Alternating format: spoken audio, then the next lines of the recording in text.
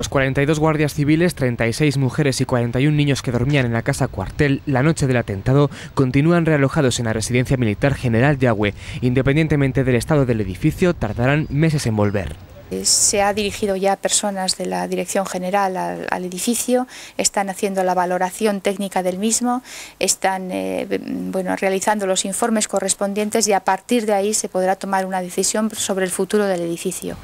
Empresas y particulares burgaleses se han ofrecido para ayudar en el realojo. En cuanto a los vecinos, 16 continúan fuera de sus casas. Hoy los técnicos valoran también los desperfectos para que puedan entrar por lo menos a por sus pertenencias. Hay empresas que se han dirigido a nosotros para que estudiemos el tema del realojo, personas o, o empresas que tienen eh, maquinaria pesada para lo mismo, para el desescombro. En estos momentos yo creo que complicados y difíciles, pues es muy bueno que, los diferentes colectivos puedan sumarse a, intentar que la normalización de la vida de estas personas que se han visto afectadas por el, por, el atentado pues se haga lo antes posible.